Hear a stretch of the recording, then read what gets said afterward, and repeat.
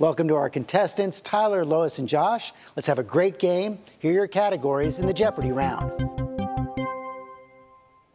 World War II in Europe.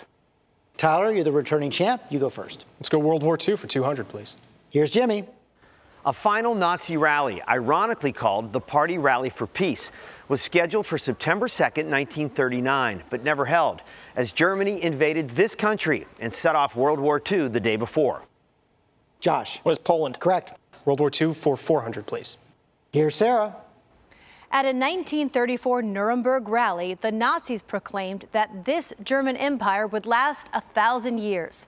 But in 1945, U.S. troops helped put the finishing touches to it after little more than a decade.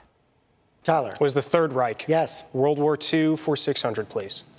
During the Battle of Britain, brave engineers removed an unexploded bomb that would have devastated this London landmark. Tyler. Was St. Paul's Cathedral? Correct. Uh, World War II for eight, please. U.S. troops marched into Germany through the dragon's teeth of this defensive line named for a legendary German hero. Lois. What is the Siegfried Line? That's right. World War II for a 1,000?